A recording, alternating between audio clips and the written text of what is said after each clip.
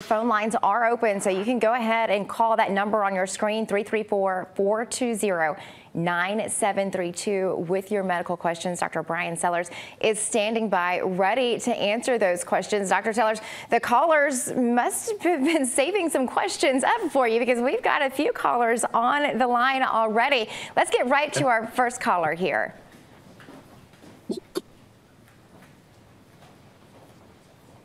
Do we have a caller on the line? Yes. Hi, go ahead with your question. Hi, Dr. Sellers.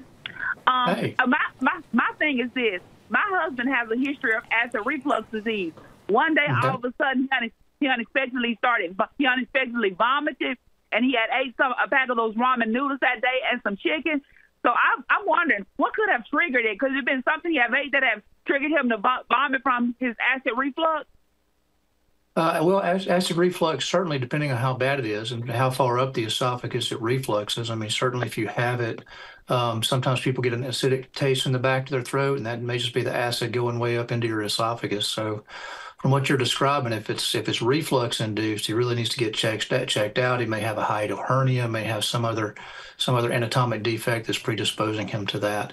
But if you're if you're throwing up from reflux, that's pretty severe reflux and needs to be addressed. So, I would certainly, if there's any questions about that, I would I would go see your primary care doctor and get started on that evaluation. Um, but you know, common sense things to, to start with, like a proton pump inhibitor like um, Protonix or Zegerid or something like that over the counter. You can get Zegerid; it works really well.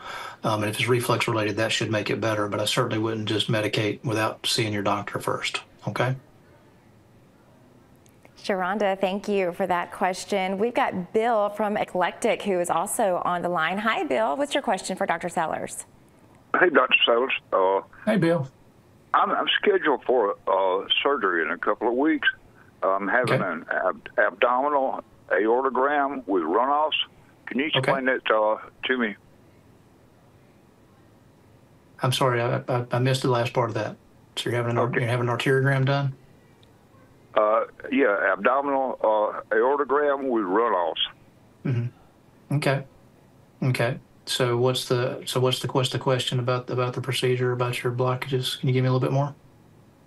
Uh, c- can you tell me what the procedure is? Sure, sure, sure. So the way the, the way you've worded it, abdominal aortogram with runoff. So basically, that is an arteriogram. So essentially, you you put a, a catheter in the artery in the groin, you inject contrast dye into the aorta, and you um, you look at the, uh, the the blood flow in the aorta and the legs. Now you can also do a CT angiogram with runoff, where you put the contrast through your IV instead, and that's a non-invasive procedure. When people have the the the um, catheter-based procedure with the needle, then that's typically there's plans to do um, ballooning and stenting with that procedure, and it's designed to to improve the blood through, blood flow through the vessels in the legs. Thank you for that question, Bill. Dr. Sellers, thank you as always for your great advice and expertise. We always appreciate spending time with us Sure. here today. Right. Thank you.